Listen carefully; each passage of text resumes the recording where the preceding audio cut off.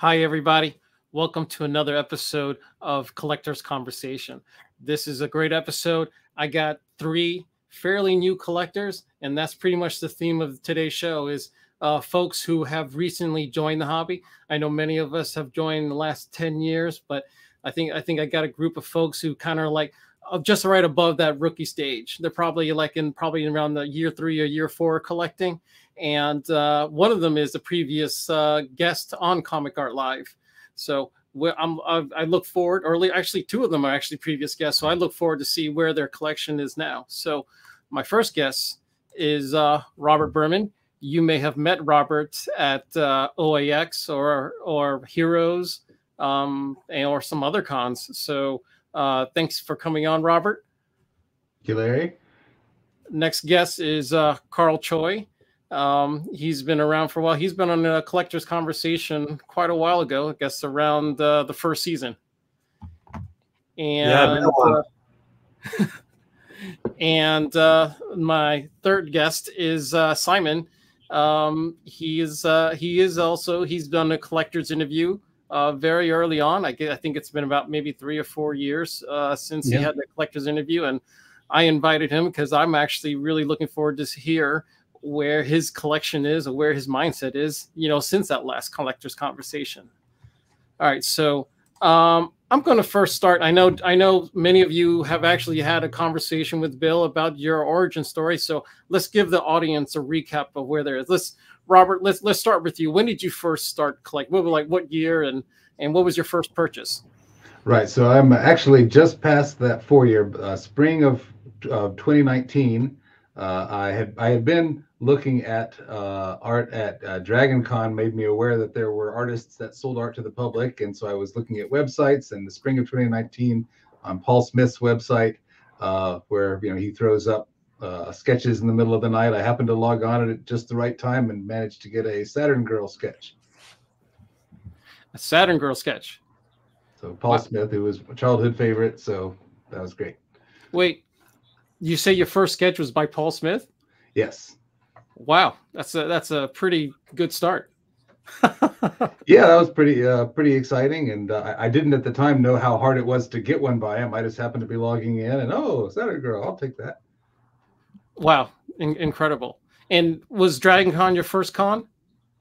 Uh, yes, I had been going even before I was a collector to hang out with friends, and then I started going to the art area, and that got me kind of, you know, you, you go through the different stages of thinking about doing something before you do it, and it was probably a year or two of being aware there was art before I, I actually tried to buy any there.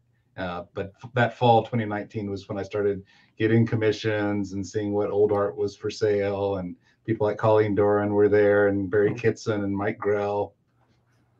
Wow. So let me ask you: Were you a comic collector before you became a comic art collector?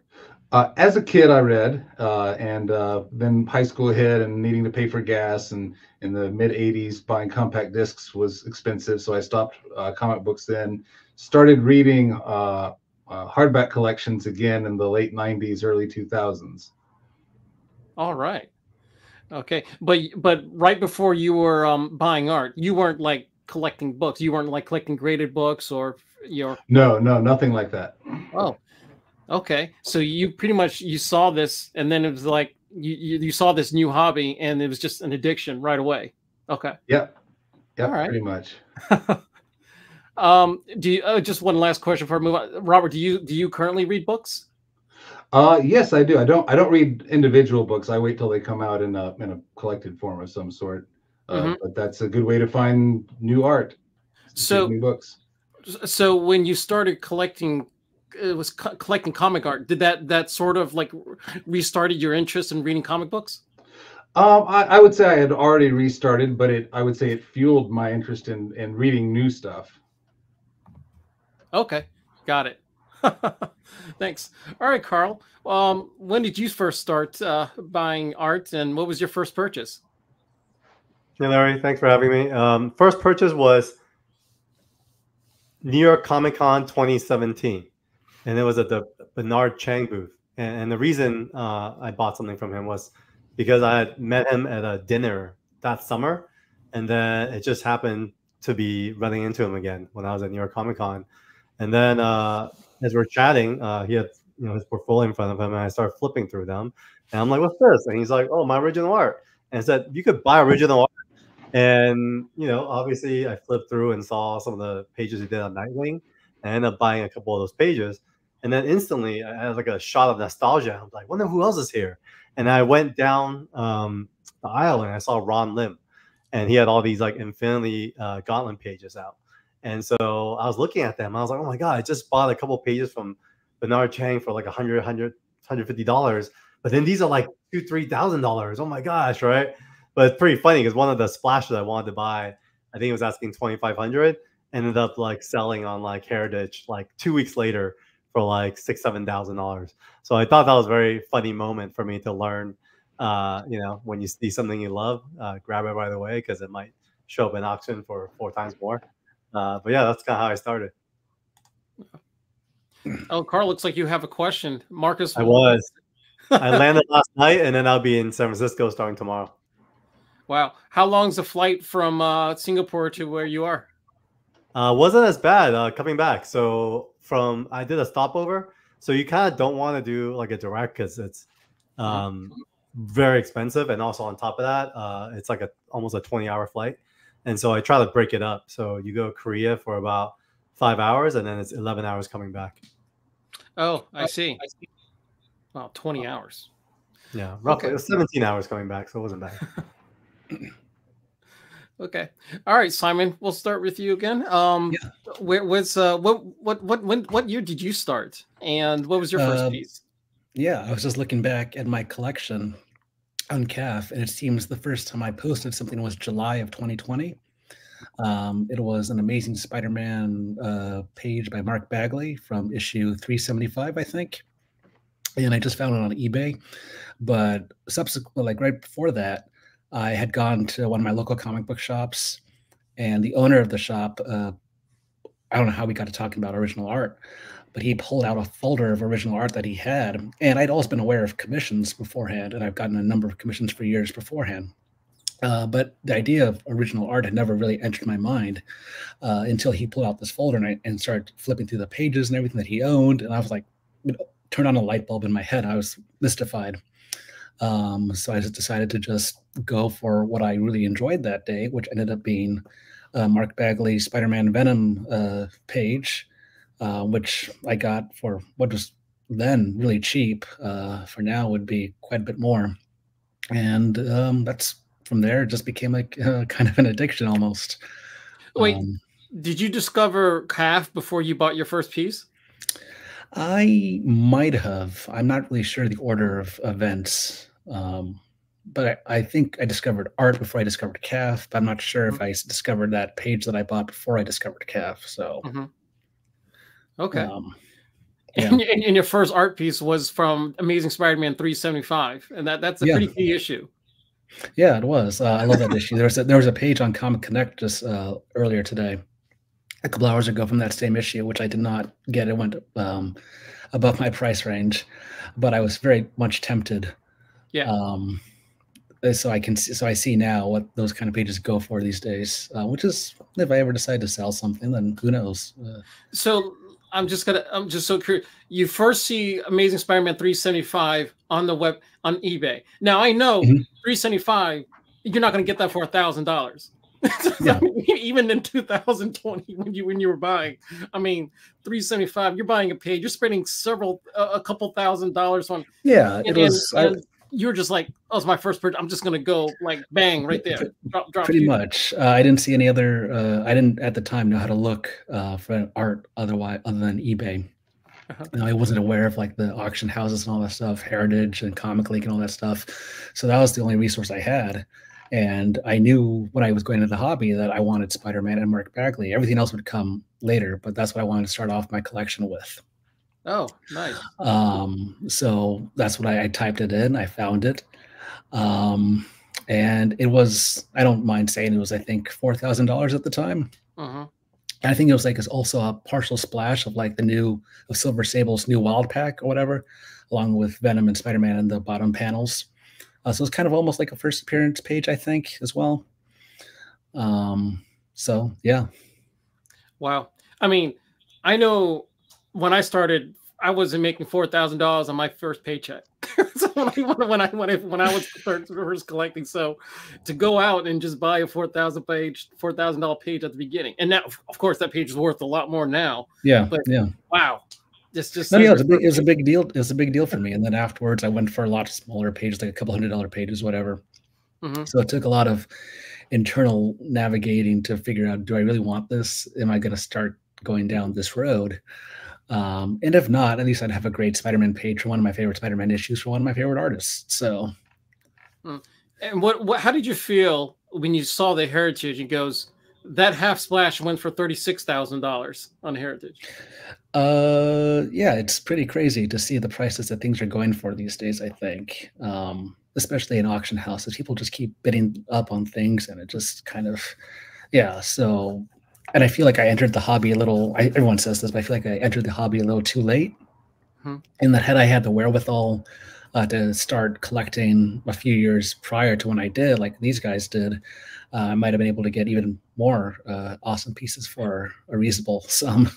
So, but I just just so where I'm going at is so you see one of your pages because 375. I, I have to say that's probably something a book that means a lot to you, could for you to just you know throw out you know go throw a whole big amount on on your first page and you yeah. see a page another page and that book goes for 36000 was your first thought wow i don't know if i can you know get more pages from this book or or was it wow my my page is probably worth a lot of money now so the spa- the page that you're talking about, I think that was from a year ago, maybe from mm-hmm. um, ASM 374. I think it was a Spider-Man and or mm-hmm. Venom punching Spider-Man in mid-flight or whatever. Mm-hmm. Um, long story short, I actually did try and get that page, um, but I it, things didn't work out. Um, but that wasn't necessarily. Hmm. I have noticed that Mark Bagley Spider-Man pages have started to go up in price over the past few years, especially once mm-hmm. COVID hit. Um, but still, my my general mentality is just uh, I hope that something won't go for thirty six thousand dollars. I hope something won't go for forty thousand dollars. I hope it'll stay at a reasonable price. Mm. And if it doesn't, um, and if it's not within my budget, then so be it. um, like tonight, uh, the comic couple uh, pages on Comic Connect that I really wanted from a couple Spider Man issues. Um, they just weren't in the budget at the moment. Mm-hmm. Um, I mean, if it's a matter of life and death, I'm sure I could get them, but it wasn't. So, um, okay. yeah. All right. Uh, Mikhail had, sorry, Mikhail had a great question for the group, and I'd like to hear, Robert, how did you discover CAF? That is a good question. I don't even remember. I know. I think I was on CAF for about a year before I bought anything. That that helped to fuel my interest that that art buying art was even a choice, and I, I wish I could answer that question. Carl, how did you discover CAF? I'm trying to remember as well. I, am trying to think of it. It's like maybe maybe through Felix because um, I was kind of tracking through my journey where after Bernard, I bought those pages. Then I used to always hang out at Jerry Ma's booth at New York mm-hmm. Comic Con, and that's also where I met Walt Simonson, who's Jerry's mentor and then next to him at the time was Cliff Chang. And so him, Cliff and I started chit chatting about Paper Girls. And I remember uh, he was like, "Oh, I have to go. I'm going to my art reps uh, dinner." And I was like, "Oh, what's that?" And then is that like your manager? And he's like, "Oh no, he just reps and, and promotes us." And so check out his website, Felix Comic Art. And so I did. And I feel like in the midst of all his emails and whatnot, he referenced CAF, and that's how I found it. But I need to think a little bit more on exactly how how it happened. Ah, okay. Simon, how well, how did you discover CAF? So it was a very elementary way of discovering it. Uh, so once I bought the Spider-Man page, uh-huh. I thought to myself, how do I find out more about original artwork? So I literally just type in how to collect original art, how to like original comic art, and really just Google provided. Power of Google. yeah. Oh, I mean, yeah, if you're searching for original art, I mean, I'm sure CAF is probably the top. Yeah, exactly. So by the time, Google for me as well. By mm. by time with 2020, CAF is already running to almost for almost like 20 years. So, mm. um, and uh, yeah, the repository in CAF is pretty huge. Yeah, I, I, think I I think I found out CAF through this Comic Art L list, and I don't remember how I got on the Comic Art L. I, I hmm. don't really understand how. I don't. It's all that so long ago. But uh, I, I think from Comic RL, then I discovered CAF pretty quickly. All right. All right, guys. Uh, thanks uh, for telling your origin story. Um, so we'll go on to the next question. So no matter when any of us started, we all wish that we started earlier. And I assume most of us transitioned from comics to art. I think, well, except Robert. Robert apparently discovered art on his own, and it was like, wow, this is so cool. So, I guess the the question is, was it a real lifestyle change when you started collecting comic art? I know for myself, it, it was. But but Simon, I'm gonna start with you. Was it a big lifestyle change when you started collecting comic art?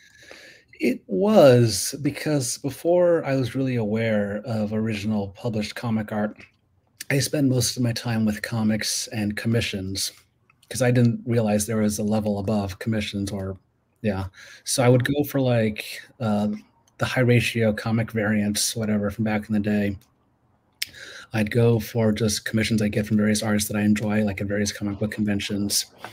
Um, and then once I entered into collecting comic art, I kind of thought to myself, oh man, I've not necessarily wasted, but wasted all this time and money on commissions and variant covers, variant comic books, when I could have just gotten straight to the source and been buying this awesome stuff for yeah reasonable prices back then. At least they would have been. Um, so since then, I guess there's been a shift. I don't do commissions as much, very rarely. Um, I don't do uh, variant covers that much, or I don't really collect um, or buy comics themselves in mass like I used to. Um, Got to kind of divide everything up and set a budget aside for everything now. Um, yeah. So you're pretty much, and I know you're not the only one. Pretty much whatever disposable income you had, it was went to when when it goes to comic art. Yeah, these days, yeah. Um, back in the day, it went to again variant covers and Okay. mostly just comics. Yeah, like the stuff you get from Midtown Comics or whatever. Um, because I was really into comics. I still, I mean, I still am, but I don't Mhm. collect them nearly as uh, aggressively as I used to. Because again, I wasn't really aware of comic art, Mhm. and I thought that it didn't really go beyond like a one in one hundred or one in one thousand variant cover. Mhm. Um, so that's what I really pursued and sought after. But when I learned the error of my ways, such as it were, then I just uh, did a complete shift. Okay. Yeah. Car Carl, what about you? Is has it been a big lifestyle change since you discovered uh, comic art? Mm, it's different. I mean, I don't know if it's a lifestyle change. I think because I work in the creative industries, I've always Mhm. been uh, really big in deploying capital to invest in artists, if you could call it that. You know, kind of deploying just to support creatives. Mhm. So I worked in music for many years, and then film and TV, and a lot of times I always try to support creatives as much as I can. And I think the journey kind of started that way too, just seeing that Mhm. Bernard was selling some of the stuff then meeting Cliff, he's such a cool guy. Then went to his next drop and bought some Paper Girl stuff. Mhm. And then I would say, yeah, I think it, was that way for a few years. And I mm-hmm. don't think it was until more recent years where I started moving deeper into stuff that I've been nostalgic about. So mm-hmm. I think I think in recent years my life has changed more than you know early on comic art collecting because Okay, all right. supporting talent.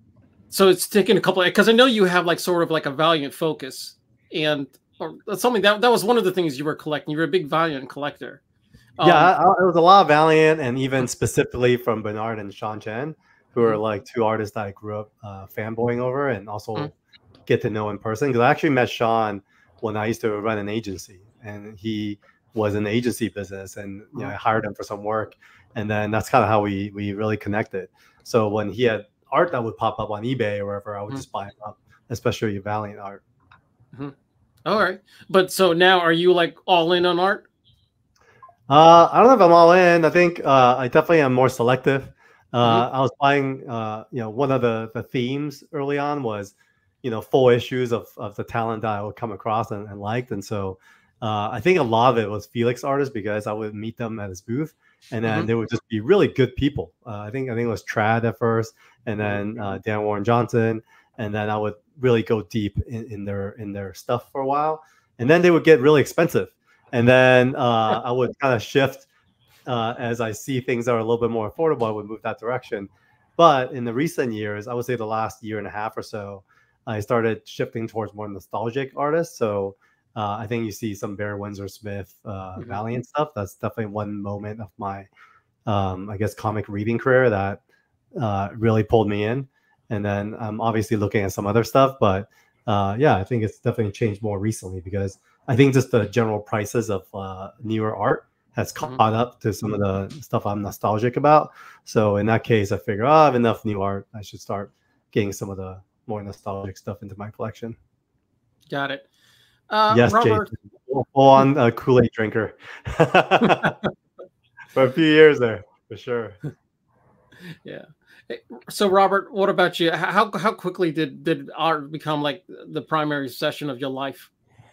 Oh, um, well, I, I don't even see it as that now, frankly. Um, certainly with respect to the main Mhm. thing that it's changed is how I spend sort of chunks of time. Like before I collected art, I didn't plan during my year, okay, I need time to go to Heroes Con or to Mhm. Como or to OAX, things like that. Uh, and so now doing things like, you know, during OAX and and MegaCon was the following weekend, so we had a family vacation at Disney the week between. So it has that kind of impact as far as my my schedule. Mhm. Um, and then doing doing things like this, and you know, everybody knows with art it takes time to uh, you know curate your art as well.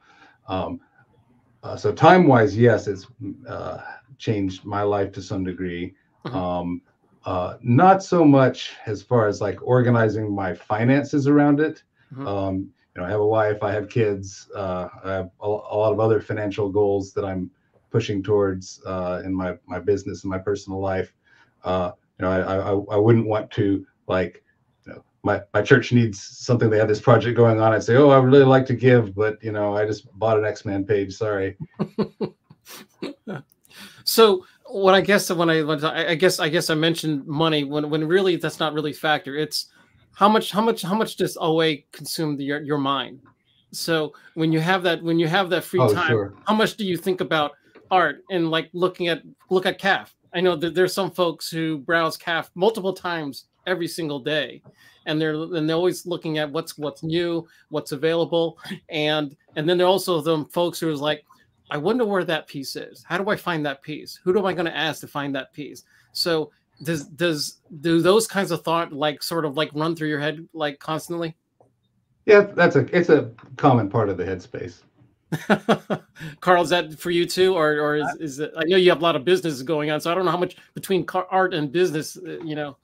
No, I was thinking. I mean, actually, the biggest impact it had on my life was, uh, and I don't know how much of an impact it had, like directly, but I think a big part of it inspired me to become a comic book publisher, because as Mhm. I got to know some of these artists, um, you know, I would hire. I mean, a couple of them actually have books with our company now, uh, because I was buying their art, and so I think there was some influence on on how my lifestyle changed for sure. Okay. So, I mean, Simon, does, does it does it consume your headspace in terms of finding? Uh, yeah, because in a way, it's almost like gambling in the sense that you can easily just uh, drop twenty thousand, thirty thousand, fifty thousand dollars in something, and just when you look at the numbers, like on Heritage, it looks like these tiny little numbers. It doesn't really like take up uh, residence in your mind. But then after the fact, like, oh my god, I just spent fifty thousand dollars. How am I going to pay rent, or I have to save for the next half a year or whatever? Mhm. And I, I can't speak for everyone else, but I'm not like a multimillionaire. I, I'm not getting the ASM 300 covers every Mhm. week or something. Um, so I think most people just have to just work within a budget um, because it's easy to blow one's proverbial load like early in the year. Like once this, the auction start and everything, all that all the shows start and everything, you got to pace yourself. Uh, as I've as I learned early on, because it's a it's a marathon. It's not a sprint because there's always going to be something you want.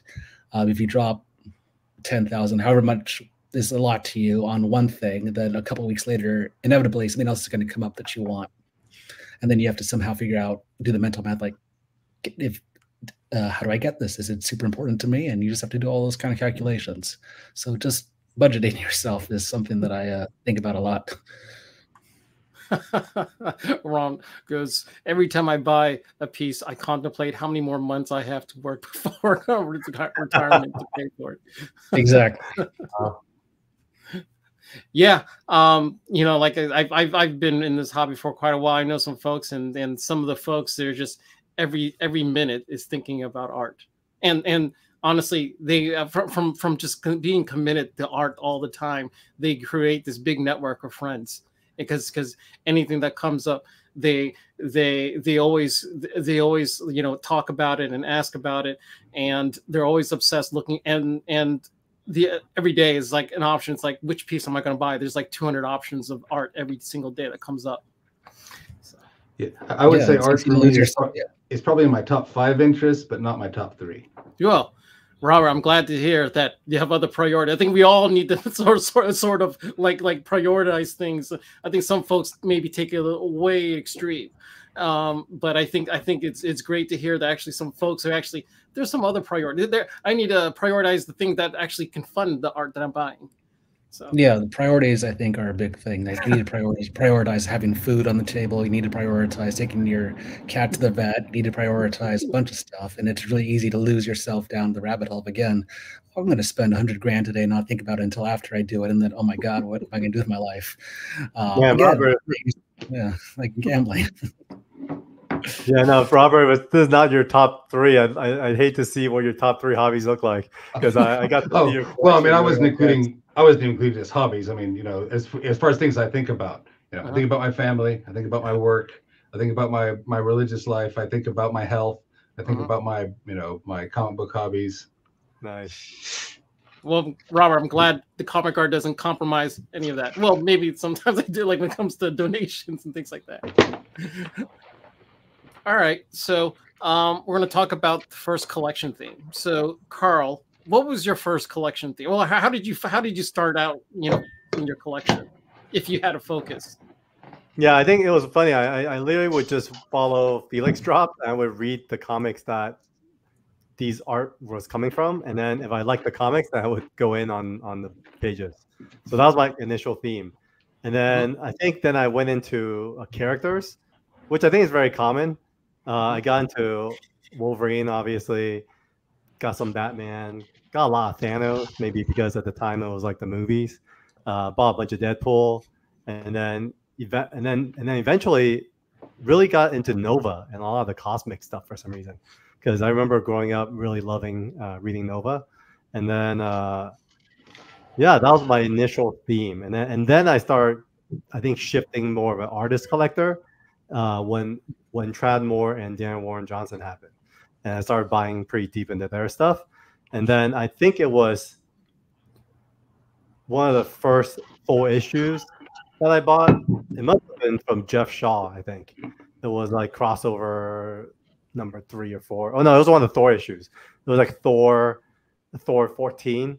And then once I got that full issue, I, I kind of caught a full issue bug. And so complete stories and full issues became a theme for for probably majority of my collecting uh, over the uh-huh. last like five, six years. Oh, actually, wow. 2017, 18, so six years now. Oh, wow. So are you still buying complete issues or did you uh, shift from that? A lot more selective. I was definitely uh, buying whatever full issue I really liked uh, for a while. Mm-hmm. And then I uh, realized I had way too many pages because uh, storage became an issue.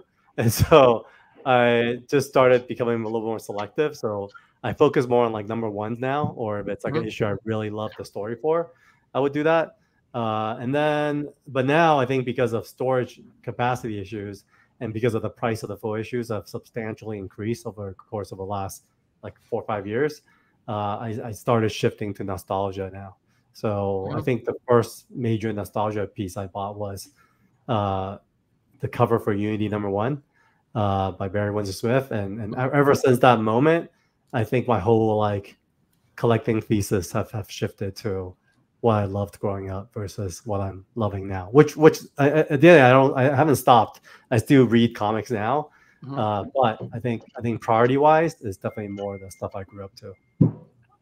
Yeah, Carl. I mean, you're saying the complete issue, the value of complete issues keeps going up. I, I haven't know I haven't know anything about it. You're the only person I know who buys complete issues, so I don't know who your competitors are. so, I don't know. They, they just keep. I mean, maybe it's because uh, maybe I'm the only one buying, and the dealers just keep it. Carl's paying this, and so I keep increasing the prices. But I definitely had to fall back a lot. I know a couple guys in in our chat that are into it as well, and, and we've had similar conversations where after a while it just seems like way too many pages. I think it's really fun when you have, have the right ones to flip through and, and, and reread these stories again without the word bubbles. Mm-hmm. Uh, but after a while, like storage, uh, you know, I'm not a dealer, so like I have limited storage. And so even after I, I was able to expand some capacity here at home, uh, got a big safe. The safe really like filled up so quickly that I realized, okay, I need to slow down and just like figure some things out. And only until this year, like I don't think I started selling anything until maybe like this year, maybe maybe late last uh-huh. year. But I, I, literally have to sell because I just need to make space. Uh-huh. Okay. Robert, what, what was your first collection sort of focus or theme? I'm not sure I have one yet. Uh, okay. uh, my collection. Everyone who looks at my collection says, "Well, you're." I mean, they're very nice about it, but they say you're very scattershot. Uh, you you have a lot of, of different things, and uh, you know, I I do like the idea, like Carl, of having complete stories as much as it can be, because comics is a sequential art form and it's a narrative art form, and it's not just for me. It's not just you know about a pinup um, or a page that looks like it could be a pinup, um, mm-hmm. but about stories. So I do, I definitely prioritize those when they seem attainable, but um, I can't say it's you know, the thing. Okay, so so your theme hasn't really changed. It's like if if it looks nice, I'm gonna buy it.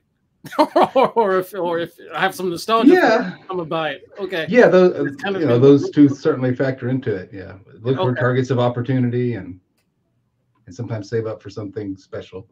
Okay, all right. Person of opportunity, nice. Simon, what what is yours? Was it like Ian Churchill? or was it cable? Um, I do I do love Ian Churchill and cable, but before that, uh, B plus B and G said something about um, if a piece comes up you really like, you might have to go for it. It might be gone forever. Um, that's a thought that I've all I've had many times. Um, but then I liken it to Indiana Jones in the Last Crusade, where he's hanging from the cliff. Mm-hmm. The Grail is right there, literally just inches away, and he has to decide: is he gonna go for it and possibly die, or is he just has to let it go?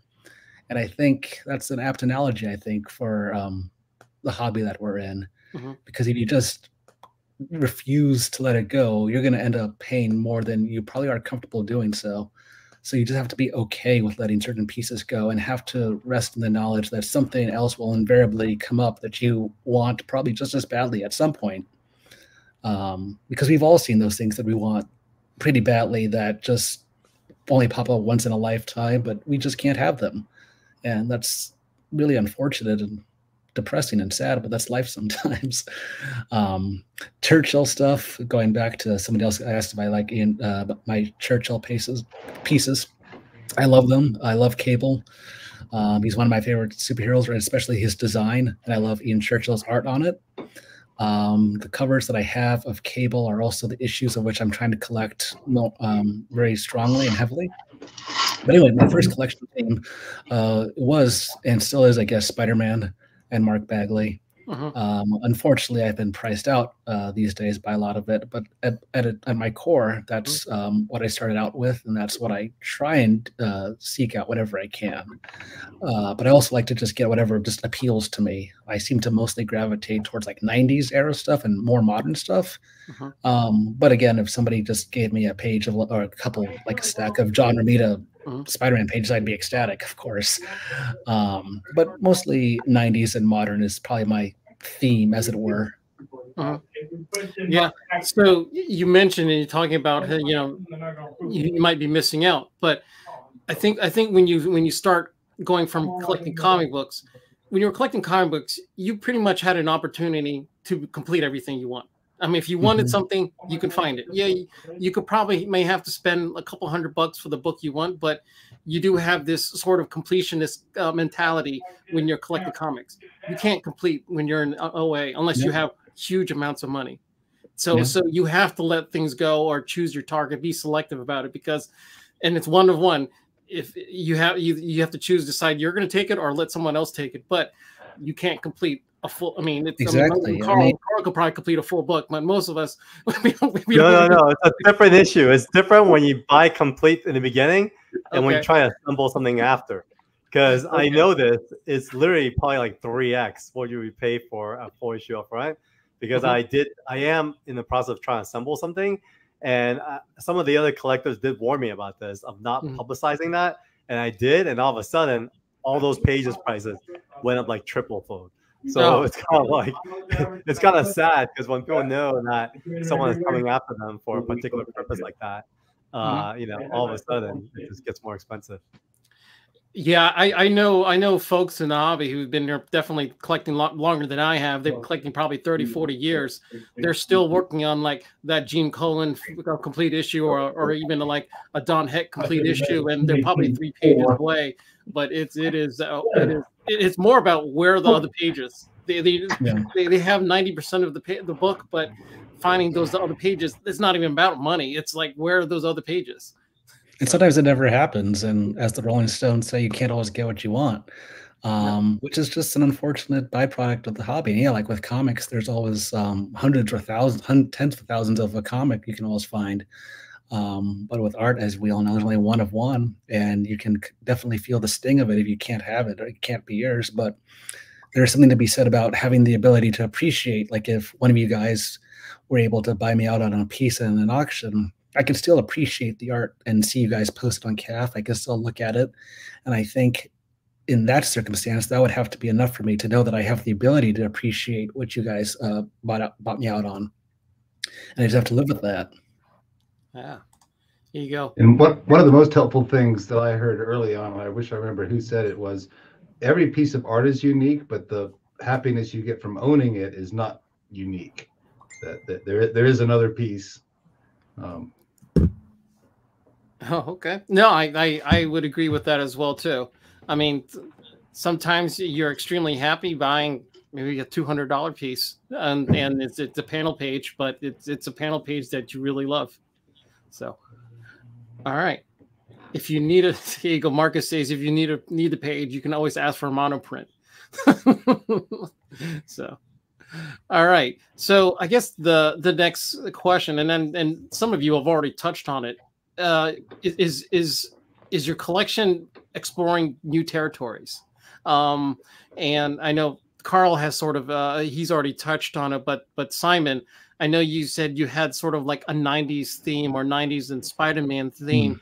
Are are you expanding into other areas in terms of looking at hey, you know, I I this this this new area is really interesting. I think I'm gonna start diving into it and start buying it. Example, you hmm. see Bill Sienkiewicz art you might some uh, at one point you may not like it, but later on you like you really appreciate it. Yeah, and I'd say it's uh, out of necessity I've had to do that. If only because again, like I love Jim Lee, but I can't go and buy every X Men Jim Lee page I see from the '90s. I don't even have one yet, but one day I will have a nice one. Same with the Bagley Spider Man. I love it, and that's my focus. But I'm realistic in that. Well, I guess I could just dedicate myself solely to getting Amazing Spider-Man pages, but I also there's other things out there that I enjoy as well, other heroes and other artists that I like, and so I don't think it's a bad thing to just explore everything that I enjoy. Like I enjoy Nightwing, I enjoy Spider-Man, Moon Knight, Cable, um, a bunch of stuff. Um, so I just try and get essentially at this point, I get what I like. Um, if something else comes up along the way that really uh, stick like really ca- grabs my attention, then maybe I'll try and go for it. But I just I just see what's available, and um, yeah, and it, and it has evolved, I guess, a little bit. Um, I don't go really for stuff like from the 80s or 70s, not out of personal any kind of rancor towards that era, but just because it doesn't really capture my attention as uh, later stuff does. Um, but who knows? Maybe in 10 years' time, I'll be going for 60s and 70s and 80s stuff. Mhm. Um, I, co- I constantly see my uh, gallery evolving and my taste and stuff slowly changing in ways that I probably didn't expect when I, when I first started collecting. Um, so, yeah, we'll see. So I know you said you don't really sell art. I mean, has there been stuff in your collection that you've had for years? Like, ah, I'm not really interested in that stuff anymore. Um, there's been a couple things that I've sold here and they're not much, but Uh-huh. I think, I, uh, except for a few things, I, my general rule of thumb is that if the price is right, it could be sold. I think it's good to be realistic in that sense and not just covet it like um, Scrooge McDuck or whatever in your safe with all your gold treasure. I think if we all need money and there's other things that we want now. Mhm. Um, so, so someone has a reasonable, strong offer for a, pa- a page of mine, I'm always willing to listen.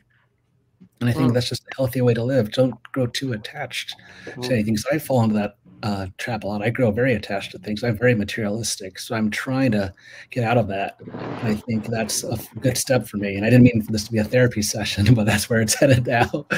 Um, but yeah, just uh, learning to let go of things is, uh, I think, pretty healthy.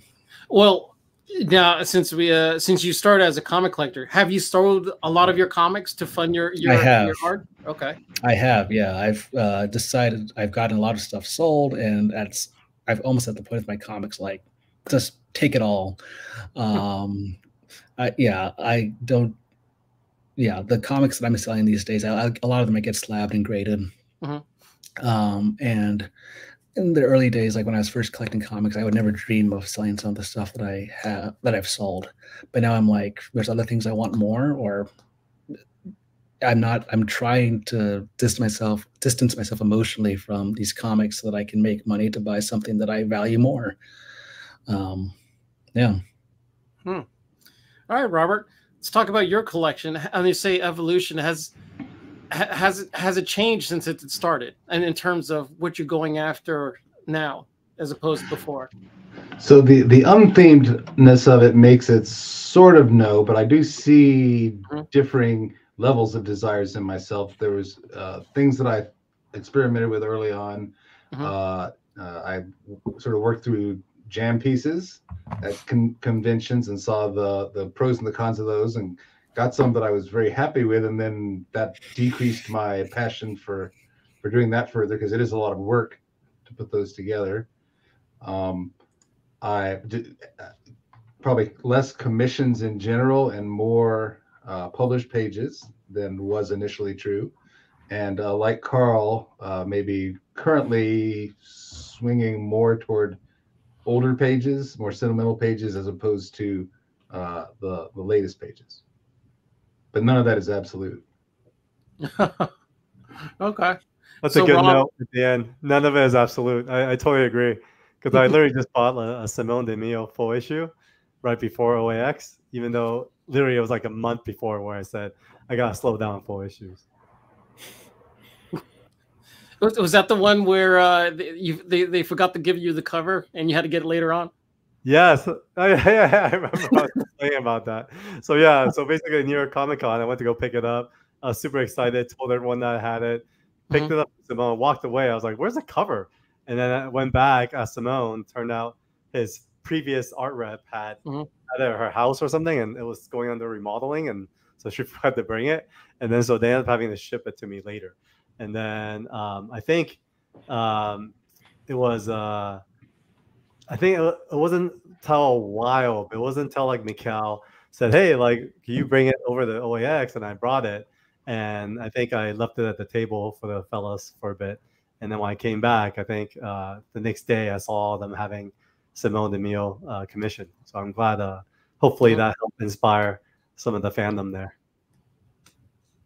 Okay. so so you're you're done. I think I think you said you said that you're done with the complete issues, but now you're looking more into the nostalgia stuff. Um, uh, would you be able to tell you tell us in terms of what where where like your prime nostalgia is, or are you afraid that I- I'm- probably people are going to raise the price? Yeah, I'm scared. I'm scared there, but I don't mind. I mean, I don't care. Uh, I, I definitely am like a big fan of Barry Windsor, but it's really funny because whenever I say Barry Windsor Smith, everyone always talks about Conan, but Conan Mhm. isn't really like my nostalgia. Mine was really towards obviously Weapon X across the board. I- Mhm. I'm still looking for a Weapon X page like 30 other people. When when things come up on auctions, everyone's like, "Who's going for going for it?" And it turns out everyone's going for it. Uh, and then uh, I love uh, all his runs on Valiant. I feel like Mhm. his art was the only art that really moved me during that time, and I felt like when he got a chance to write the stories, those were also really good. Uh, I also liked Ru- Rune a lot. Too bad it just didn't run that long, so there was just wasn't a lot of nostalgia there. Uh, I'm also a fan of Joe Quesada. A lot of his work, uh, I think, more towards uh, the Azrael side. So Mhm. I think everyone already knows I collect a lot of Azrael art, but I think that at the end of the day, Joe Joe Quesada's run on Azrael is probably the ultimate uh, fandom for me. And then it's weird. I've been really fans of like the the Death of Superman, post Death of Superman, and even though people make fun of the blue Superman, I thought that was one of my favorite versions of Superman uh, growing up. And so, but yeah, I was thinking about Bagley. I had a few pieces of Bagley that I bought for way lower. And I remember right after the pandemic, they totally blew up, and people Yeah. gave me some crazy offers, and I had to sell them. And so it was really interesting how Bagley just kind of was, well, you know. I will. I will say about Bagley. Um, I remember right before the pandemic, I was talking to his rep about buying various Amazing Spider-Man covers from the current series, and he had them for about three thousand or so, which seemed okay. Then, imme- then after COVID, they've now gone up to like he sells them for like fifteen thousand. So there's been there's a big uh, price hike uh, ever since then, Mhm. in just a couple of years. Yeah. Um yeah, Bagley stuff. Well, you know, I, I always I always favored his 90s stuff. I think his newer stuff, uh, it's it's it's nice, but for some reason I, I liked it when he exaggerated all that anatomy from the 90s. So I always always a big fan of his Spider-Man run as well. Hmm. I mean, I mean, Larsen would put him and put Spider-Man some of these awkward uh you know positions where his legs go over his neck and things like that. I, I didn't I didn't want that, but but Bagley he he was pretty cool in terms of having you know pre- you know really like elongated legs and and arms. It just looked really cool when Bagley was drawing it. Yeah, speaking of Larsen, it's interesting. I, I remember I felt like he was doing that to follow in the footsteps of McFarlane, to Mhm. kind of live up to that in between. But I also remember a Nova Spider-Man cover that was for like thirty five hundred dollars, and then like I was kind of chewing on a lot because at the time I just wasn't spending that kind of money. I was in in my like hundreds stage, Mhm. and then it would have been my first like you know major four figure cover, and I hesitated, and then in hindsight I totally should have bought it because it was you know, I, I still would love the cover today if I owned it. I wanted to go for that cover too, and I You know what I'm talking about, right? I do know because I was uh, watching it during that same auction, and I actually went for it, but I got uh, beaten by not too much, How much did it go for? um, Do you remember? like 35 35,000, I think. Thirty-five thousand.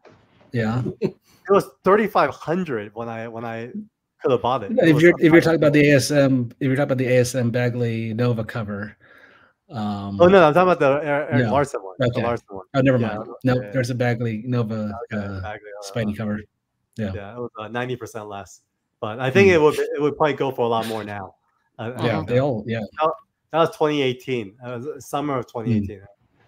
Yeah. So I tell you, like, so actually, like maybe like five years, and when I first started collecting, nobody cared about Venom. I don't know why. I mean, he was a big character in the '90s, but in the early 2000s, Venom was pretty much a, a dead IP or something like that. Like, I don't know what they didn't. Marvel didn't know what to do with with with Eddie Brock. Um, I guess he had a mini series here and there, but Venom was a dead property. Nobody cared about Venom. Um, and then one of the pieces went up for for on Heritage was uh, was a nine card it was, it was the one was nine card sets with Bagley drawing Venom in each piece, and that was pretty cool. And I that's that's one of the pieces I got for like three thousand dollars back then because nobody cared about Venom. And I think I think I think I saw Venom number one would go for about I think thirty thousand dollars. Obviously now it's probably worth a lot more, but thirty thousand dollars from Venom was kind of surprising back then because nobody cared about him. Do you guys Um, feel like the movies had anything to do with it? I don't know if the movies. Well, I, honestly, I, I think the the popularity of Venom is is right now. I mean, I think I think in the recent years he's like number he was a number one selling comic at one point, which is yeah. I think really I think the surprising. Donny Cates series and the Ryan Stegman working on him together during that era, uh, right before and during COVID. I Mm. think that helped bump the character up because Marvel finally knew what to do with him, and they finally he finally kind of grew to prominence there. Right. So, but Carl, if you're if you're into Electric Superman, now weird thing is I don't see a, a lot of Electric Superman. I thought I would think I would see more, but I know there's a lot of hatred towards Electric It's because Carl So- has it Yeah, already. a lot of people hate him, but but I, I I'm a fan. I love Like, it. for some reason. I I thought it was kind of a quirky era, and I Uh-huh. just like the costume design. But uh, yeah, I don't have a lot of his stuff. I, I I I have a couple. Well, I have one piece that I like, but I'm also not trying to buy a ton, and so I'm not trying to go overdo it. So unless I really like it, I probably won't buy the piece because there was something I, I that think uh, Wolvie fan had too, but I wasn't a Yeah. fan of him wearing a wearing a parachute because I feel like Oh, if, okay. if Superman could fly, why is he wearing a parachute? So it, it didn't make sense to me. I mean, I think when they come up, they're not going to come up very expensive. You could still buy them at any time, but the problem is uh, it, it's it's just availability. Either somebody's probably just holding on to like nobody's going to buy the stuff, so they're just going to hold on to it. Um, but when yeah, no, I, I bought one recently for, probably for pretty reasonable price, so it wasn't bad. Yeah, such a weird story. Like, like I think he had a red version or the blue version, and I and and and, and DC was really pumping him up. You know, trying to be like, no, this is such a you know special Superman, but it just flopped. I Um, love the idea too. I love the costumes, and I would love to get some art from that era too. So mhm. yeah, see, there are fans. All right. So um, now that we talked about, uh, we'll talk about some of the plays. So I know you, everybody here started out with with with CAF. Now, I mean, 2024.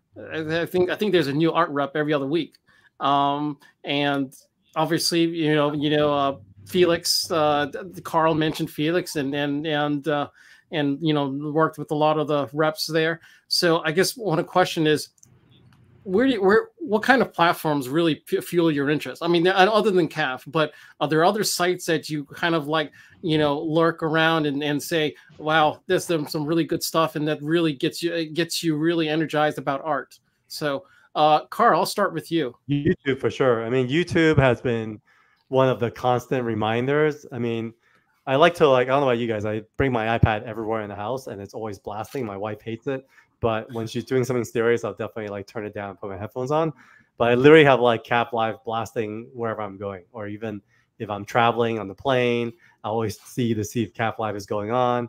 And then all, all the art sales, dueling dealers are, are super fun to just listen to. So I'll be like brushing my teeth in the shower, and I'll be like listening to dueling dealers. And so I think YouTube number one, uh, Mhm. and then Instagram as well, because following a lot of the artists on Instagram is kind of fun because you not only see the art for its in its published form, but you also see a bit of that artist's uh, personality. And I would say the third piece would be uh, comic conventions. So I think, um, yeah, if anything, uh, I've I've gone to comic cons pretty much every year for you know since 2013. You know, obviously I skipped like 20 years and then came back.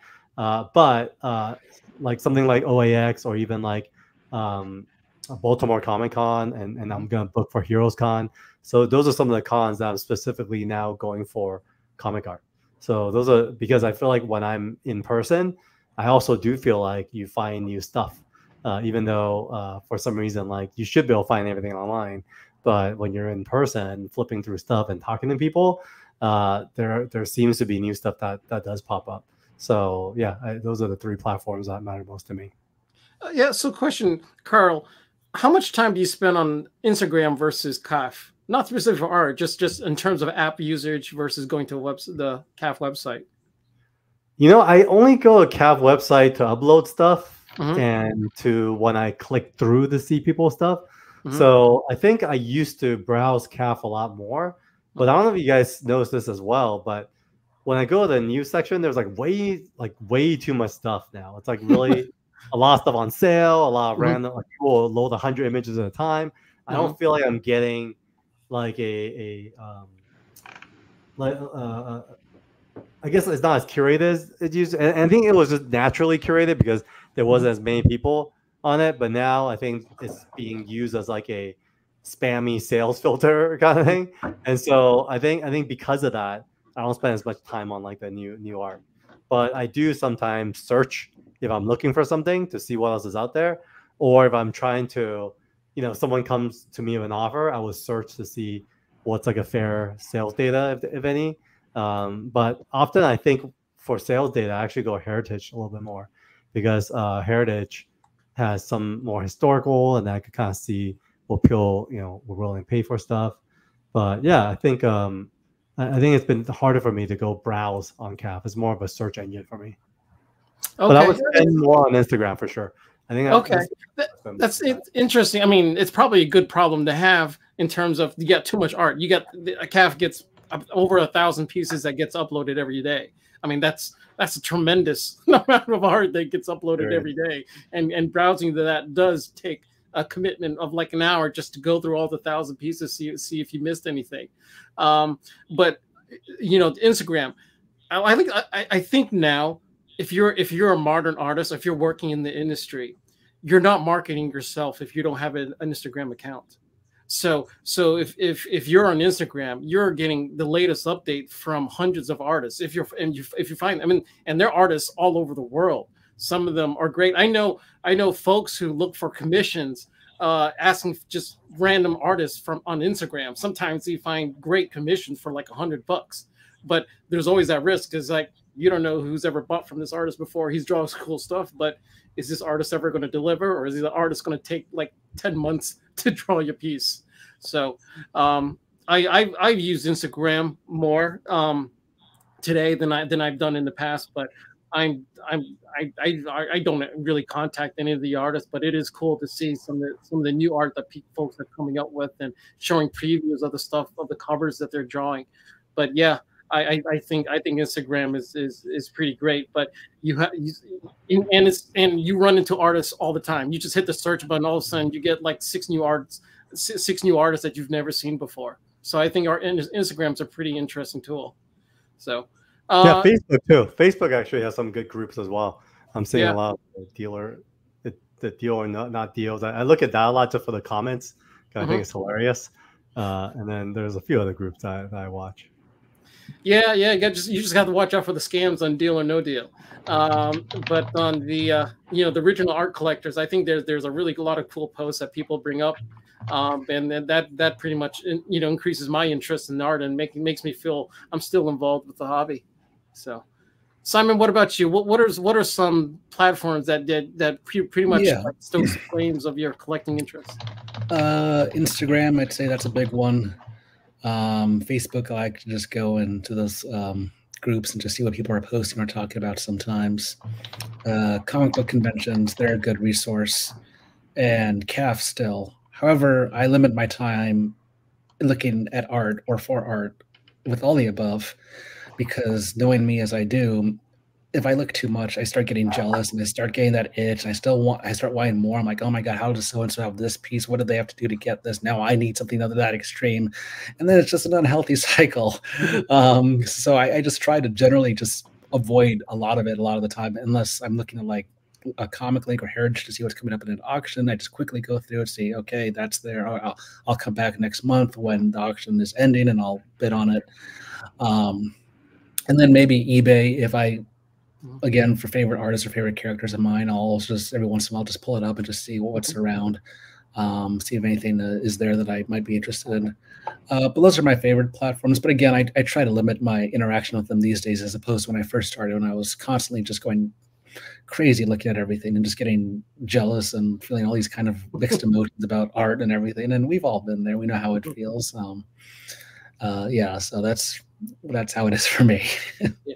Are, are, there any specific like uh, original art websites that that you kind of like just follow in terms of see hey is, what what new artist does he rep or what do they have new uh, yeah just the usual stuff um like felix mm-hmm. or Meet a Man or any of any of them really.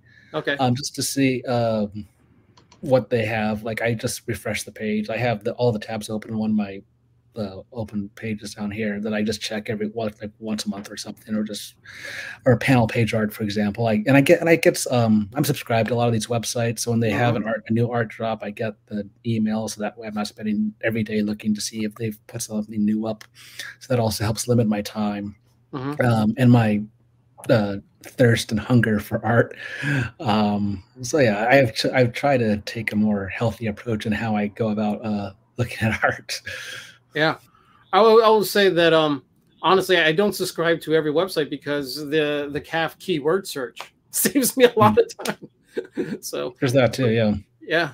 It, it, helps me out so I don't have to browse a lot of I mean it doesn't work on every site but every most of the sites that are pretty much attached to a Bill's site I mean the the keyword search is a great feature I, wish that. I and I had the, I had those I, I had those keywords. Uh, I did the keyword search when I first started off, but mm-hmm. as my tastes have changed or evolved, mm-hmm. I've been too lazy to re like readjust it and everything, put new way. things in.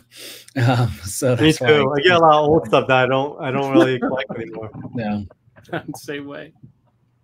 All right, Robert. How about you? What are the platforms that really, you know, you know, light that fire of, of OA for you? So, especially as someone who came in really ignorant about a lot of the n- new books and the new artists. Um, when I first started, I did find uh, the the Thursday Night CAF Lives very valuable in having a curated sample of what's new on CAF. That you know, Hmm. ninety percent of the artists every week were brand new to me at one point. Um, you know, I, I knew Art Adams, but oh look, it's Nick Bradshaw. He's he's kind of like Art Adams. I, I never would have got like this is a Bradshaw here behind me. Hmm. Um, that uh, I, I discovered him because of uh, uh, the Thursday CAF Live mentioning his work, and so Nicholas Scott would be another one uh, in that category. Um, I'm not on Instagram. I have Facebook. I am on some of the art groups there and have bought stuff from un- unknown artists uh, that just I liked what they were doing. Oh. Um, I, do, I there were there was a time early on when I would regularly peruse what's new on CAF, what's new on uh, the artists who were on CAF Live, the, the dealers who were on CAF Live. I mean, Romitaman and Bashara and and uh, and Anthony. Um, I don't I don't do that as much anymore either. Okay, so I just saw this uh, this comment here. My wife tolerates my art collecting. Some of it she likes, but as long as I pay pay for the bills, she doesn't care that much. Does this is, is this feel the same for you guys? I mean, I I know uh, uh, Robert and and and Carl. I know you both are married. Uh, Simon, I don't know if you're if you're if you're married or No. but uh, does is does that does that relate to you guys in terms of you know your significant other do they, do they even care but they know you you probably know you spent a lot of money but do they actually care Uh, Absolutely, yeah. absolutely. Yeah. yeah, the, the, it, the- absolutely. In the sense that yes, I mean they they, they care how much uh, Yeah. you know is is spent, and and that comment definitely resonates with me as well. And you know, it's not a you know when you love someone, their happiness has value to you. right Yeah. so i mean it's easy to tolerate i mean uh, i think i think a lot of our significant others they they they, they tolerate but do you i mean it, it, it, I'm, I'm actually interested when i when i see someone who's actually has a significant other who's like really involved with it really wants to be you know part of the auction or or be part of the part of the purchase of, of new art. I think that that's pretty exciting but i don't have one of those and i don't i don't she doesn't have to any honestly. But uh you know having a wife that tolerate that's good but if you if you find the wife that actually like hey let's go after this piece that i don't know how, how that goes Yeah, it's pretty funny. I, I think my wife didn't really care, but out of respect, when I started going for some of the bigger tier stuff, I, I definitely made sure she knew that what I was getting into, and made sure she was okay with it. And and sometimes I think it's more of a, uh, a a- kind of a self spidey sense, like self regulator, to make sure that I'm being talked to by someone I trust. And so by running it by her, and me explaining the context as to why I want to spend such money on certain things. Uh, you know, depending on where we are in in, in life, uh, you know, she'll either be like, all right, go for it. It's, it's your birthday, go for it. Or it'll be like, no, I think I think this, you know, you're waiting for that deal to happen. So I don't think you should spend that money until that happens. You know, so she's very good about just like speaking some logic into me. And and there's a few times where I thought I really wanted something, but then she said, "Why don't you go reread that comic? Because that's not really Barry Windsor Smith stuff." And I went to go reread it, and then I was like, "Oh yeah, you're right. I didn't really like that book that much. I just wanted, it, you know, cause of X Y Z, right?" And so it was really, it's really good just to have a collaborator as Yeah. far as someone I trust I could go to. But for the most part, she could care less. I think, I think for little stuff, she Mhm. didn't really care. But for for bigger stuff, I do uh, respect to speak to her. Oh that's pretty cool she'll tell you why you're interested in that so she's actually a voice of reasoning and help you help you choose voice of reason. I think when, when I get into this FOMO time or when I get into this, like, oh, I gotta have something, then uh, then she questions to make sure that I, I want it for the right reasons. You know, Mhm. I think that, that I'm very lucky in that regard. And she collects her own stuff too. So sure Sure. Oh, Rom goes, my wife caught the bug and started collecting herself. You know, maybe at one of these uh, future sessions, I just need to bring in the couples and ask how they make these uh, decisions together. I'm not getting you art. I Can you really imagine your fun. wife buys a piece of art and then uh, she didn't tell you? yeah, David Mandel and, and, and his partner, they did that for um, the things dreams are made of. There's a, a Uh-huh. husband and wife session that they uh, episode, and they Right. had the wives come on. It's really relatable. I highly recommend everyone watching that. All right. Uh, the next topic is about. I know some of you have, you know, like I said, you've well, Carl, you you've been here, you've been collecting for about six years, and and and uh, Simon, you've been started collecting since 2020. Um, so, uh, but you have a few years under the belt. What kind of lessons have you learned while you since you started collecting? Robert, I'm gonna start with you. Um, when I say lessons learned, like what did you like, like production stats or fakes or blue line art or monoprints? What what did you what did you have to learn pretty quickly as as as as you collected in this hobby? those certainly come to the fore. One of my uh, first uh, wake up moments was uh, buying a fake Kirby commission uh, in an auction uh, in, in in late 2019 in a in an auction that had was full of other uh, reputable pieces, and I think the collector who had died and his stuff was being auctioned thought it was a real Kirby piece. Um, and he was no longer with us to discuss it. Unfortunately, when it by the time it was uh, I was satisfied by talking to other people that it was a fake that I had bought. Uh, so, Oh. so, so, so be, be wearing, uh, being leery of commissions. Mhm. Uh, I, I also once uh, uh, bought a monoprint, not realizing it was a monoprint. Uh, and the, the, the, it was at a convention, and the artist offered to uh, take it back from me when I. He didn't specifically say it was a mon, monoprint in, in language that was clear to me. I think he, to him, he thought he was being clear. I don't think he was trying to snow me Mhm. but it, I didn't understand what he was saying. And then uh, later, when I did, he offered to buy it back for me, but I liked it enough that I've just kept it. But I have not bought any more. Okay.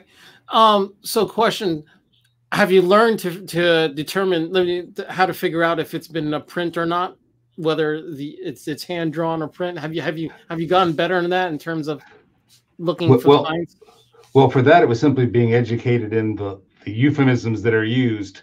Ah. Uh, that that that mean it's it's a mono. Why, why did this piece of original art come with a certificate of authenticity? Mhm. Oh, okay.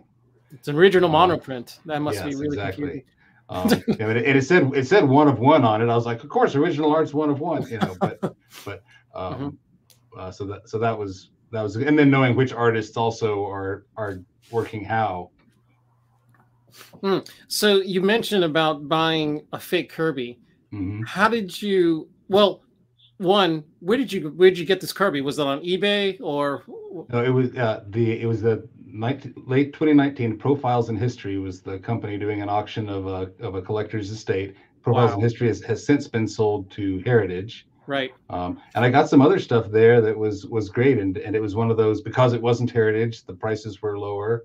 Mhm. Um, but then it contained things like like this as well that uh, that slipped in, and I I think I put it on. I forget if it was someone on CAF pointed it out to me, or I was also posting things that I had got on the CGC Collectors Forum, and someone in one of those two places pointed me to the image uh, from which it had been based, and I, and it was pretty evident to me that it you know, that it was a fake, and they they showed me some other things about the paper and such that Mhm. that uh, convinced me as well. Uh, okay, so so you had pretty much you you you based your analysis on pretty much what you heard from CGC and what some other folks have told you about the original itself.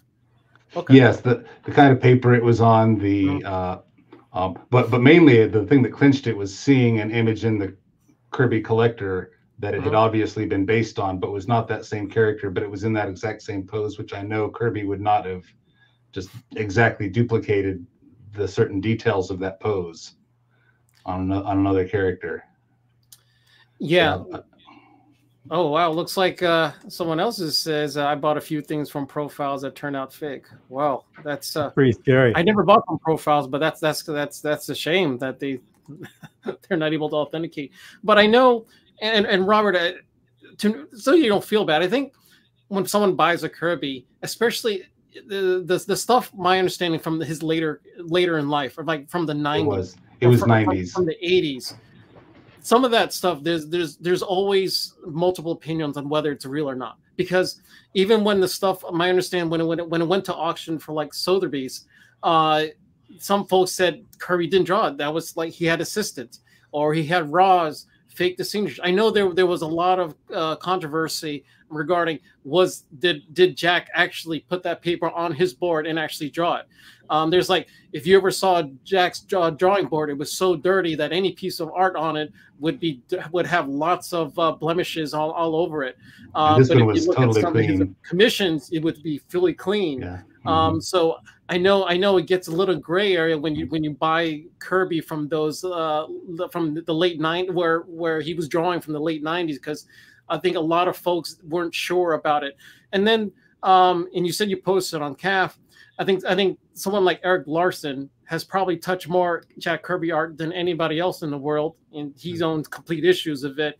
I mean, he has a good feel on whether uh, a piece was actually, you know, actually drawn by Jack. So, um, yeah, I mean, so so I'm saying a lot of people would, would could make that mistake, but the, when it gets to the late '90s, uh, there's a lot of different people who question whether or not Jack actually drew those pieces. So, yeah, yeah. Uh, I guess uh, Simon, I'll go to you. What are some quick Yeah. lessons learned that you had to learn in the course of you know since 2020 when you in this hobby? So thankfully, when I first went uh, discovered CAF, I just started to reach out to people and talk about uh, how the fact that I'm a new collector, if there's any advice they could um, provide me. And through that, I found a few mentors, art collecting mentors, that really helped um, guide me. And I guess uh, answered all my questions, or a lot of questions, like with blue lines and stuff like that. I didn't really understand. Mhm. Um, but a big uh, lesson learned was in an auction for that Spider-Man page we talked about, uh, Big Venom Spidey Splash, and how it's important to read the fine print of the description. Otherwise, you could receive a very nasty surprise in the mail. Um, because I guess the story is such, I'll make it very quick. I did win that page initially. I got it from Heritage. It came back not in the description that they had advertised and there's a lot of issues with it. It was, it was literally glued onto like styrofoam or something, and all these and it was all wavy, and the glue that it had been glued with had kind of started to bubble up at the pages and everything, and the description had been like in fine condition or something like that, which in my mind didn't really, I don't, I don't know, I, don't, I didn't really pay attention to that. Um, it had been framed. It, it had been all these th- issues that then weren't really in the description and should have been. And also, I I should have asked inquired since I was really into this page what these little things meant, but I didn't. So what proceeded was about a month, a month and a half long debate with Heritage about this piece um, and how I didn't want it because it didn't match up with what they had advertised. Um, finally, I did get my money back. I sent it back to them, and I guess somebody else bought it shortly thereafter uh, at another auction because they put it right back up um, which is not to say anything about heritage one way or the other. Um, but that was just what happened to me. I'm just recounting the facts as I remember them. Um, so yeah, read the fine print. Uh, if you if you have any questions about the condition of something, ask. Um, ask for specifics. Um, otherwise, you could end up spending lots of money on something and then having them try to refute you and be like, "That's your problem," and not wanting to do anything about it. Um, so yeah. So, um, sorry, what what, what page was it? That that It was from Amazing Spider-Man 374. okay, It was uh, pretty much a full splash of Venom punching Spider-Man in the middle of the air. okay, Um, the promotional image or whatever image they used on their website uh, that we will all see when we're uh, bidding on it looked phenomenal, but the actual page, once it was received, was not in such pristine condition. yeah. Um, Um, yeah. Uh, it gets really, really some some folks have a different threshold in terms of what they'll tolerate in terms of condition. yeah, Now, if they say it's it's a mountain on the board, well, that that's a that's a problem because I don't have a way to remove the glue from the page from the board. Uh, I took it to professional. I took it. To, I took it to a professional framer that same day. I open it up. And I'm like, "What the heck is this?" I took it, and they're like, "We can't really do anything about it. There's somebody else we can recommend that you can possibly get it like saved from." And then I'm like, "The thing is literally bubbling. Um, this is not what I paid for, and this is not what was advertised." Mhm. So just have learning to deal with that and have patience, but also um, stand your ground. Also, if somebody says like initially when I tried to refute it with them, they're like, "Well, that's your problem. We don't We can't do anything about it. To which I said, no. Um, and then you just have to, yeah, you have to be patient, but also you have to know um, your own worth and what you're willing to fight for and do so in a respectful manner. Um, yeah. Okay. Yeah, you know, I would I would say, you know, I I, I started collecting comics before I, st- I, I bought art. I didn't grade I didn't grade my comics because I wasn't there yet, but I was almost anal retentive about the condition of the comics. Actually, when I got to art, I thought it was pretty liberating because I actually stopped caring about the condition of the art. As long as it wasn't torn, I was I was fine. I mean, no water damage, it wasn't no tear. I was kind of I was I was pretty okay with the art then. I mean, the thing if you mount it, if it's glued to a board, I mean, I, I can't I can't separate unless I take it to a restore, and that can cost a lot of money. And plus, I'm pretty much impacting the the page itself if you take it take it to a restore. Um, but yeah, I mean, I mean, I get your point. You got to read the fine print because I there was one time when I was bidding on Heritage, I bet three thousand dollars on a cover. I didn't read. I didn't read. I didn't realize I was bidding on a recreation. so, so, after I bid, I was like, "Oh shit, this is it's a recreation." Of course, someone outbid me, and I was like relieved because I, I don't think the other person read it was a recreation either. so, so, um, so, so yes, you got to read the fine print. I think there was a, there was a time, uh, like like maybe maybe two Wednesdays ago that I that I was uh, looking at bidding on something. I forgot to read the fine print, and, and I almost um, I, I almost overbidded. Um, but uh, luckily, I, I, caught myself. Uh, but yes, Heritage. Uh, it's not like they're. I think Heritage is actually better than most. This is my experience in terms of trying to accurately describe the uh, art. They, they would tell you if it's mounted on the board, but I don't know. Maybe maybe sometimes it's framed. They don't check if it's actually mounted. Yeah, they, they um, didn't check. Yeah. Yeah.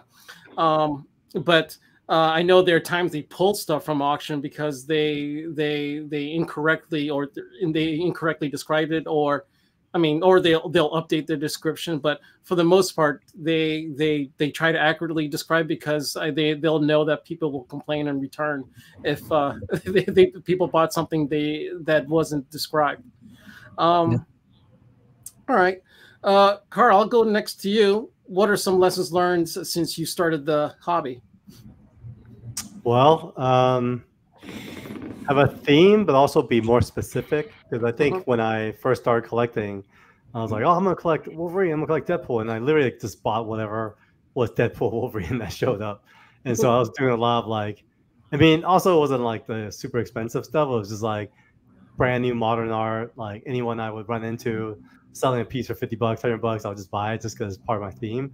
So definitely be more specific um, when it comes to the theme because after a while it just gets too much, and it's almost like going on YouTube. Like mm-hmm. you know, your your I think the, your weakest piece become like you know become it weighs down the rest of the collection. So I had to kind of move a lot of that stuff. At some point, I think I sent a bunch of them to like Comic Link, a bunch of them uh, Heritage auction, and and just got rid of them. Uh, and then the other thing is like FOMO. Don't don't get caught up by FOMO because I've done, I think we've all been there where like um, a new comics coming out, the artist is a great artist. He's working on a new comic, and this comic's about to sell a million issues. Then when you know the pages drop, all of us trying to like fight for the pages. And I definitely have like won a few of those pages where I'm kind of like, why did I even buy this? I don't even like really like this character. I just bought it because this art, this artist, there's all this like hype around the issue, right?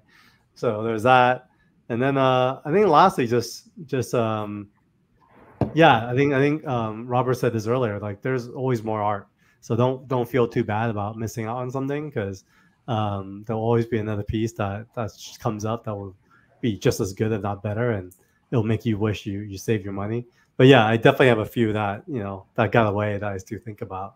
But you know, definitely uh, know that there's always more art. But so your suggestion is have sort of some sort of focus.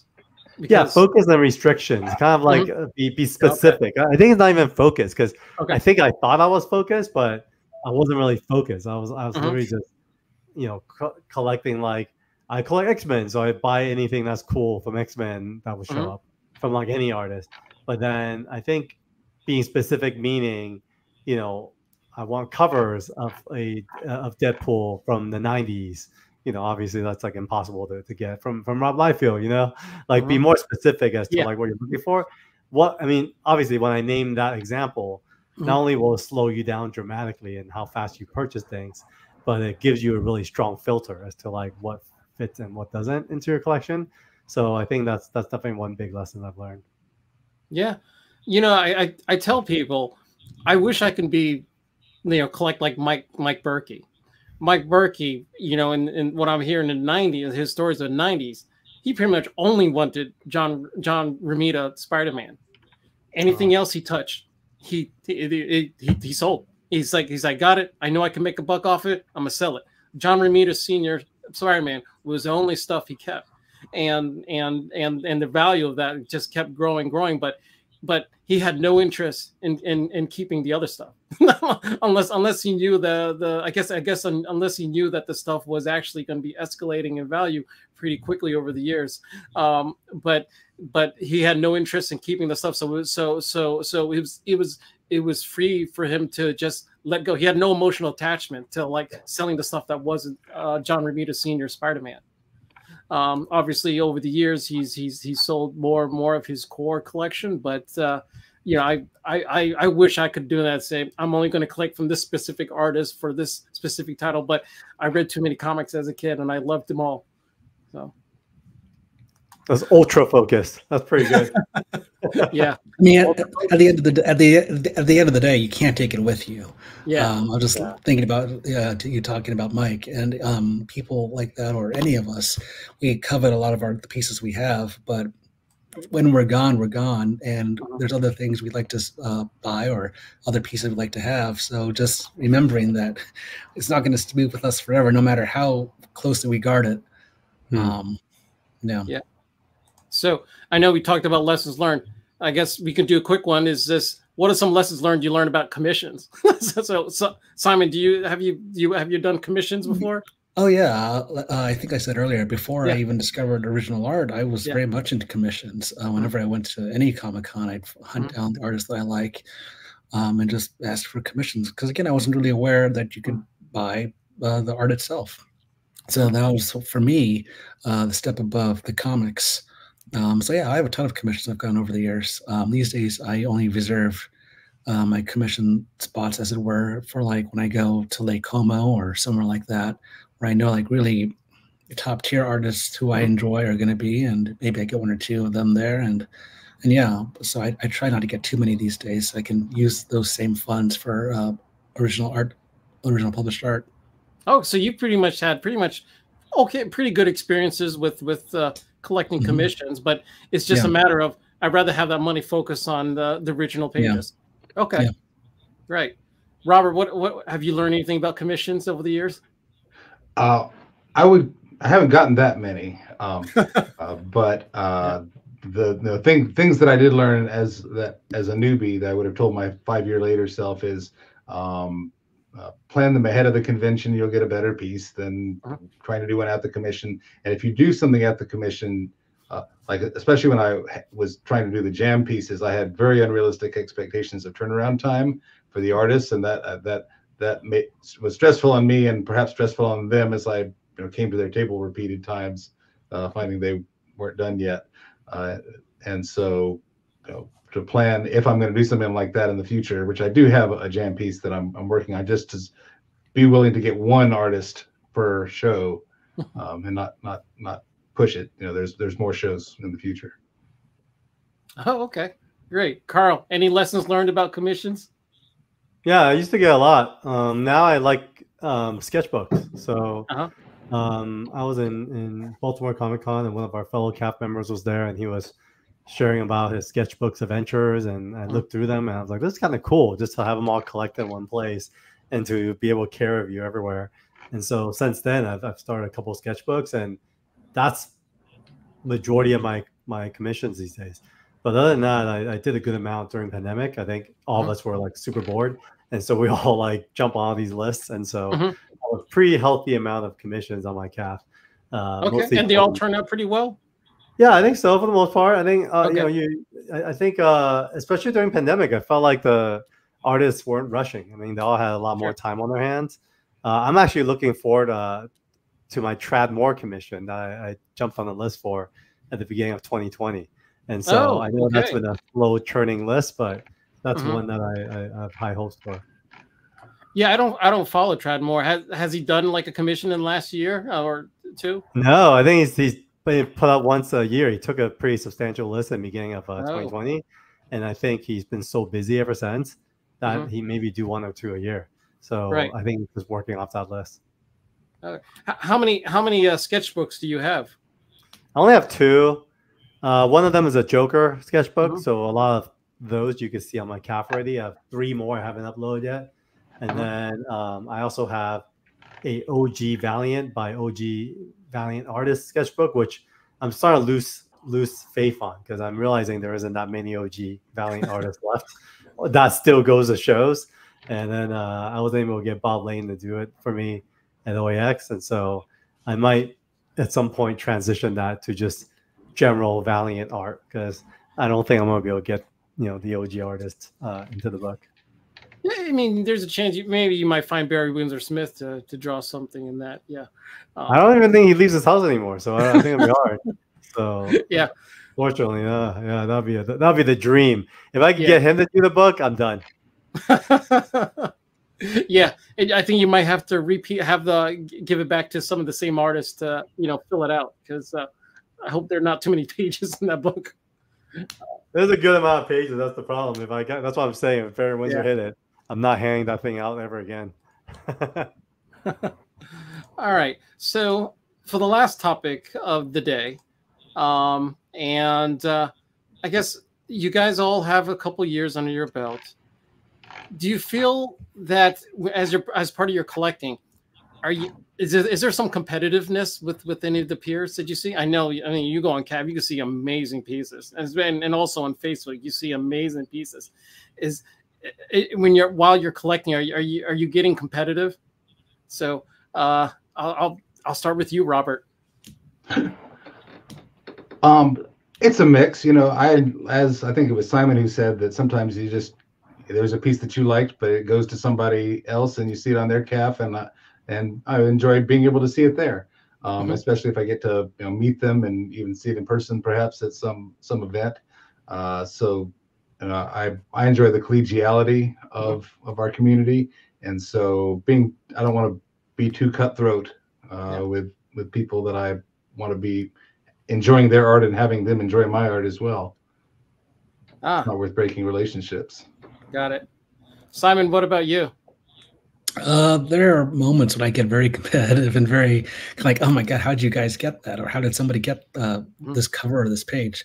Usually, it's kind of some kind of fascination, like because they'll post some kind of piece. I'm like, I didn't see that at any uh, auctions site or anything. So how did they get that? That's really that's crazy that they're able to find it. And I'm like, well, then I can compare that to my own collection. Like then I start to go down a rabbit hole. Like, oh my god, my collection isn't good enough. I have to get more. I have to spend more money to get really big pieces so that I can finally be where I want to be. But and then that's why I kind of distance myself, as we talked about earlier, from all the other like um, ways to look at art, like Instagram and all that stuff, because then I just go down that rabbit hole. So I try and these days just to appreciate what I see out there, or just appreciate what I can get, and not try to think about it too much. Um, sometimes it's hard because sometimes you see something so iconic that you're just like, oh my god, I how why why did they why did they get it? um, I want it. That should be mine. Yeah. um, but yeah, so it's just a you just have to kind of balance that. I think we all feel some pangs of jealousy at times, or it, it's just a mixture of emotions one goes through. Really, Yeah, I think I think it's pretty easy to be jealous in this. I mean, what I learned very quickly in this hobby is that there's always a lot of collectors above us who are collecting in a different tier than us and and getting the stuff that we really want. So, uh, Carl, what about you? I mean, any, any do you feel any competitiveness when you when you when you buy art? Only when I used to chase the Felix drops. When I used to wake up, time Yeah. everything, multiple screens, and have the world clock going, and then I'm like jumping for the pages, and then yeah, and, and uh, for the most part, a lot of stuff I, I went for, they Mhm. would just disappear. I don't even see who got them. But I would say like those were the moments I felt very competitive. But otherwise, these days, what's been great about the CAF community is I'm in a number of chats now and I kind of know who collects similar stuff. Mhm. And so I would literally just like if something came on auction, I'll just hey, are you looking at this? And then they'll say yes or no. If they yeah, if they yeah, if they say yes, I'll be like hey, like let's have a discussion because I don't want to like bid each other up, right? Mhm. And so we'll just kind of discuss like you know how bad each other wants it and Uh-huh. and how bad how much you were going to go for, like what's your cap, and then at some point I'll either you know back off or uh, the other person may be oh yeah, you know you wanted more. But it's been very civil and i think in that way it's making collecting much more fun because now i kind of uh, have built up some credit where I've, I've backed up from some pieces where other folks i think in the future i can ask for a favor. Mhm. uh, but yeah just just having that type of collaborative collecting effort has made it a lot more fun. And then i think i've had friends now also send me stuff that they know i like Mhm. uh, know that I would go after. Uh, that probably would have missed if not for the community. And so I, I'm definitely a lot less competitive. And I've definitely come to this point in my life where I feel like I, I just can't have everything. And so, you know, I'll just get what I can as, as, as it comes. And so, yeah, it's been cool because, you know, prices were getting kind of crazy the last few years. And then this year has softened a bit. And so it, it created a lot more possibilities than, than, you know, where we thought things were going last year. But it's still really expensive. So, uh, I've slowed down quite a bit, and having a community really helps helps that. So, Carl, have you had your has your wife ever helped you with a Felix drop? No, she will never do that. yeah, she she she think she, she, she just thinks the whole thing is silly.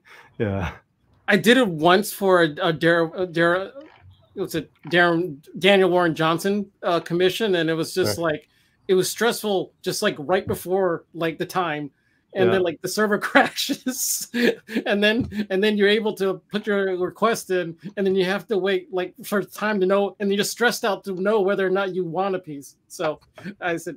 Not doing a, I'm not doing a drop ever again. Yeah, just- I was not really into that fault, It's just not for me. That's I, it's just I don't need that kind of stress in my life. yeah, it's stressful just waiting to see if you're rejected or not. You know, and then the longer you, the funniest thing, the rejections come fa- faster. So like, Mhm. if you don't get rejection within the first hour, you're like, yes, I might get it, and sometimes it'll come two hours later. Oh, sorry, it's gone. "Oh." Yeah, yeah. I, I, Carl, I think I think you touched some really important pieces. So that I, I should have probably brought as a question that, that when you're networking, especially now when you're on there's there's social media, um, that helps that helps everybody. It helps yourself, and and you're able to find more pieces out there because everybody will send you tips and you get to go back and forth and talk about whether you know how far you're going to go to get the to get a piece. Um, but having having having that network you'll you'll probably you know you might have a friend who's who's probably lo- looking to sell some pieces and and some of those pieces you've been wanting for like 20 years. So so it helps to have that network to help you out sometimes they know a tip. Sometimes they have uh, they're they're pretty close to some reps or some artists and they can hook you up. So having that network does does pretty help everybody. And that's probably something i recommend for folks you know early on is is to build your network of collectors. Um, but all right. So that's the end of the of of this collectors conversation. I want to thank all my panelists. I hope you all enjoyed this this this conversation.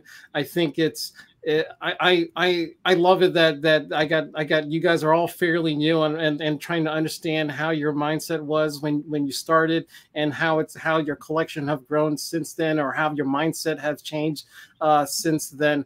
But uh, yeah, um, I also say that you know with my network, I always feel that we're a family. So when the, when when one of them gets a piece, I feel like I don't have to go for it. like if, if, if I see a piece, it's like I might want it, but hey, if I have if I have a friend who wants it more than I do, I'll let him take it, and I'll, I'll just I'll just wait for the piece that I really want. So Yeah. all right. Thanks, Larry. Thanks, what a great Larry. chat. Thank you. Thank you very much. thanks everybody. Everybody have a great night, and uh, probably see you next month. Thank you. Thanks, folks. Thank you.